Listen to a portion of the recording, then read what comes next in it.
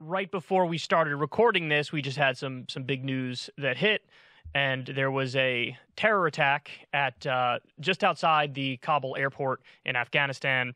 Now, to this point, the United States, uh, since August 14th, has evacuated at least 75,000 people. So as of today, it's actually close to 100,000. 100,000. That's from August 14th, or I think that's from the end of July. Okay. Well, Yeah. as of this morning, it was I think 90,000 to 95,000. Okay, yeah. So, uh, in all seriousness, and um, the White House press secretary said this, Jen Psaki said this the other day. This is like the largest airlift in U.S. history, Yeah. and again, had gotten out nearly 100,000 people, if not more than 100,000 people, definitely over 100,000 since late July.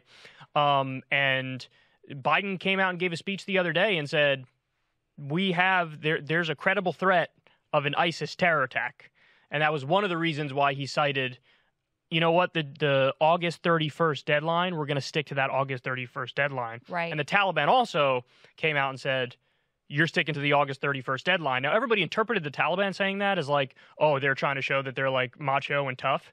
But you know seeing that now there was an attack I actually look at that and I think maybe they believe that too because they thought they couldn't secure the airport. And so you had 6000 us uh, military on the ground trying to secure the airport to get the evacuations done. Um, and you had the taliban too tan- tangentially there. Um, and there was two bombs that just went off. And as of right now and this is almost certainly going to change because this is very early on uh, for when this happened. I mean this just happened an hour or two ago. Uh, there's 13 who are dead 15 who are injured including three americans. So it's a developing story, but um, the ISIS has already come out, and um, and we just saw this literally five minutes ago. We were going to come out here, and I was going to speculate that it's ISIS who did the bombing. Now we know for sure because they've announced that they were responsible for it. So we're in a very weird situation where the Taliban is a guerrilla army. And they have national ambitions. They want Afghanistan. They've effectively taken Afghanistan. And what you have are jihadist elements ISIS, Al Qaeda, and others. And so now you have this basically um, theocratic civil war, in essence, happening within the country. And, you know, this is one of the things you won't hear on mainstream media. In fact, now they're saying the opposite, but I'll go out and say it.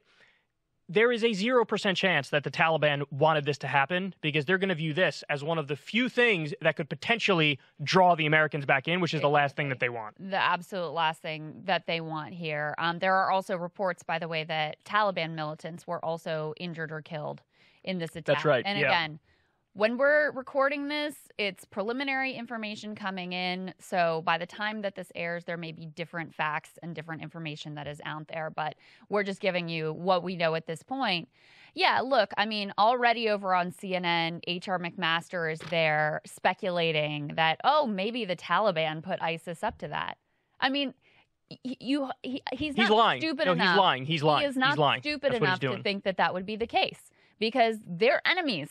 They're not buddies. They're not friends. They are enemies. They are adversaries. Number one. And number two, as you said, Taliban wants us out of there. That's why they've allowed us to, you know, have the airport and get all of these flights and get our people and some Afghans out as well, tens and tens of thousands of people. They want us gone so that they can take control and, you know, best of luck to them governing and do all of the terrible thing. No one here is saying like the Taliban is good or anything like that. I mean, they're terrible and their ideology is terrible and they're repressive. All of that is the case.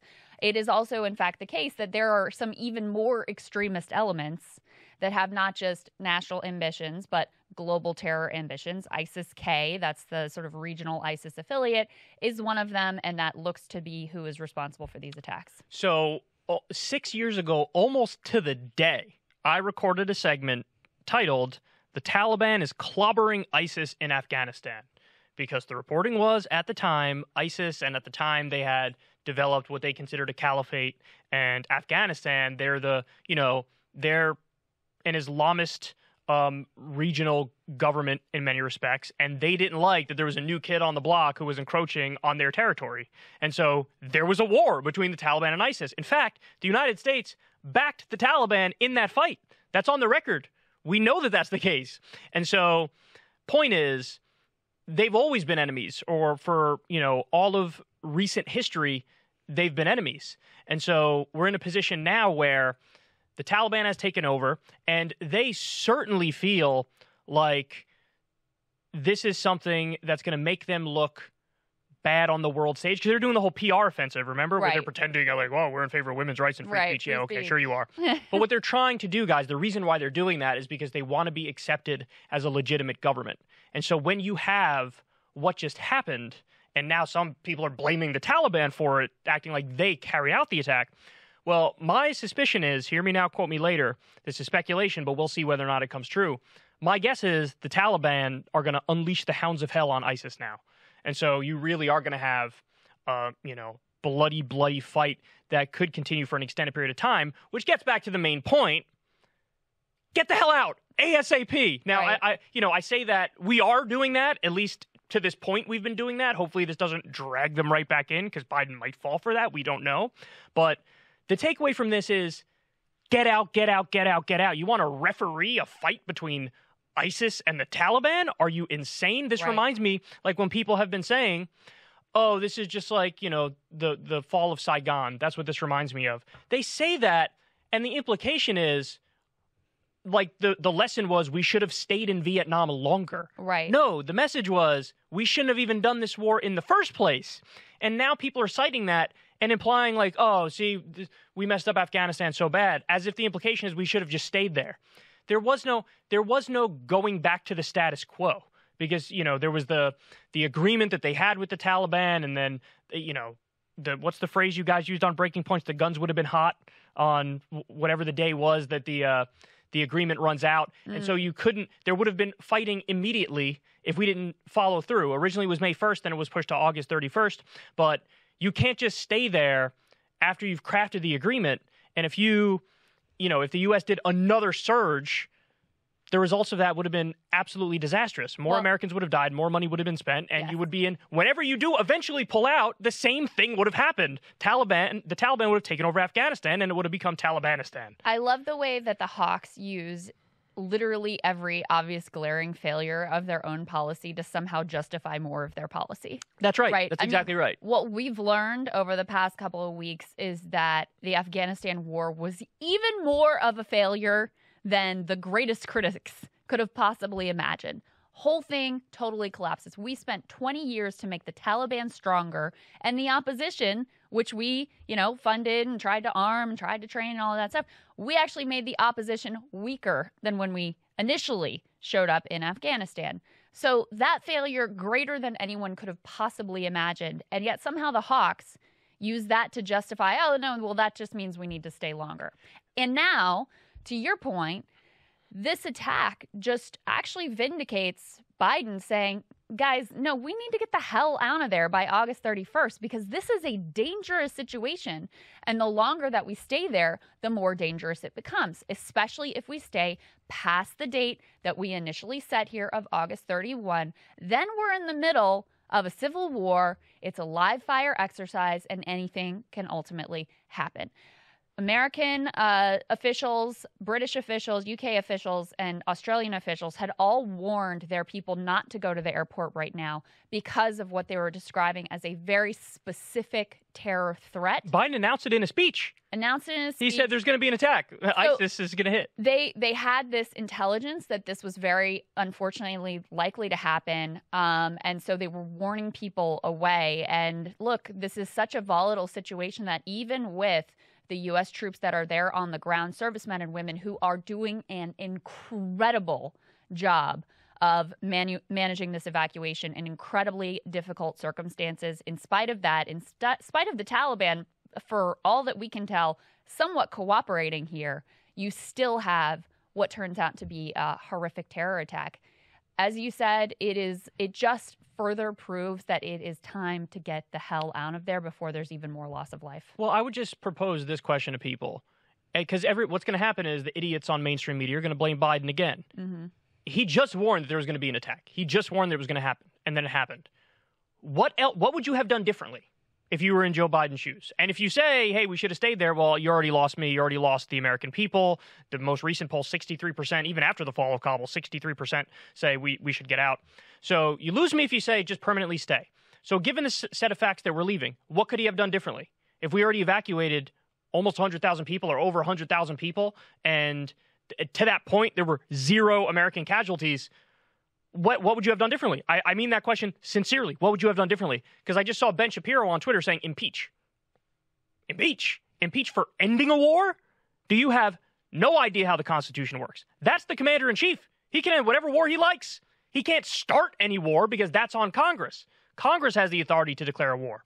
So, if anything, you should say impeach Biden for the illegal bombing of Syria or the illegal bombing of Somalia, which he engages in all the time. There, there's a fair argument to make.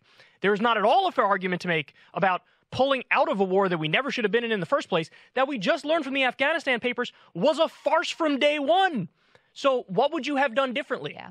There, there is no answer to that. People are just going to use this to attack, and the media is now going to have a field day, the cackling hyenas that they are, and they're going to use this to drive down his poll numbers even more. Again, on the one issue where he did the right thing, they're going to clobber him over and over and over and over and drive his poll numbers down. And that's why the media is full of shit and they manufacture consent. Noam Chomsky was right all along. Yeah, no, that's exactly right. And look, you know, regular people out there living their lives, they don't know these details that – Taliban and ISIS are adversaries. No idea. No right? idea. So when someone people on CNN don't know that. So right, unfortunately, that seems to be the case. So when H.R. McMaster goes on there and in his grave and solemn tone informs them that oh, it's it's very possible that the Taliban put the ISIS up to this. Total bullshit. It yeah, I mean, but you know, if you don't have educated anchors or anchors who have any interest in informing people like that's ridiculous. And for you just to come on my air and make some wild accusation without having anything to back it up that seems preposterous on its face, like that's wildly irresponsible. But that's also a perfect metaphor for how their coverage has been this entire time. So, yes, it is the greatest irony that the most courageous and correct thing that Biden has done by far in his administration, he gets trashed across the board from liberal media, from conservative media, from morons like Ben Shapiro who want to say impeach over actually doing the thing, having the courage to do the thing that two presidents before him promised to do and never actually were able to pull off. So the thing about H.R. McMaster really drives me insane because I remember there have been so many times that I've covered stories of like people in the media not knowing the difference between Hamas and Hezbollah, for example, mm-hmm. people in the media. There was a very famous moment. I'm not sure if Trump was the one. He was doing an interview. I think it was with Dennis Prager or Hugh Hewitt, and he didn't know the difference. I think it was between Hamas and Hezbollah, but it may have been between Sunni and Shia. But there's like, point is, there's been at least like three or four different instances where somebody who talks about politics for a living or is a politician didn't know the difference between Hamas and Hezbollah or Sunni and Shia. And what you saw there with uh, McMaster is it's not that he doesn't know it, it's that he's lying. Right. Because he does know He it. does know. He does know that the Taliban and ISIS are enemies. He does know that it's ISIS who did the terror attack. But he's blaming the Taliban. Why? Connect the dots. He wants us to go back in. And so you go out there, you do the propaganda. CNN anchor's not going to push back because they don't know shit. They don't know anything. I know more than them, and I'm an idiot YouTuber. Are you kidding me? So look at this position that we're in. I guarantee you they're going to use this to attack Biden as if there's anything Biden could have done to stop it. Yep. When he already warned about it, we already secured the airport, we already evacuated almost 100,000 people. What else could possibly have been done?